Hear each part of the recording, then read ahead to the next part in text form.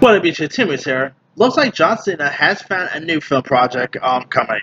It's reported that John Cena has joined um the likes of Brian Cox, Jodie Turner-Smith, and even Kathy Bates for this new um political thriller simply titled The Independent.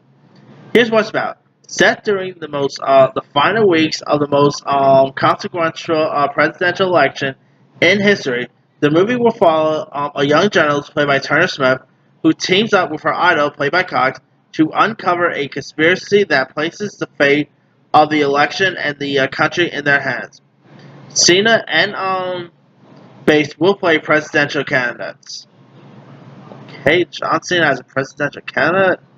Uh, all right. Um, not sure if I could really buy that, but hey, um, John Cena as a president. Okay.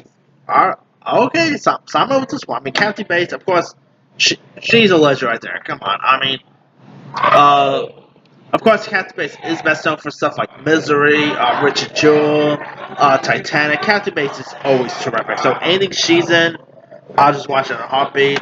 Uh, her teaming up with like teaming up with John Cena, that's a combo I never, I would never expect that in a million years. John Cena and Kathy Bates.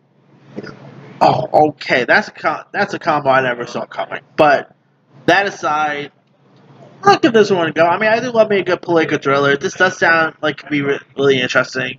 I love Brian Cox too, so I mean, could be interesting to watch. Anyway, let me leave you guys.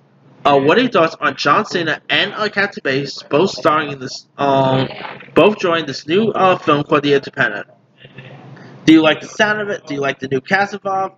Drop comments below. Don't forget to like, subscribe, hit that bell for notification. This is Simu Sign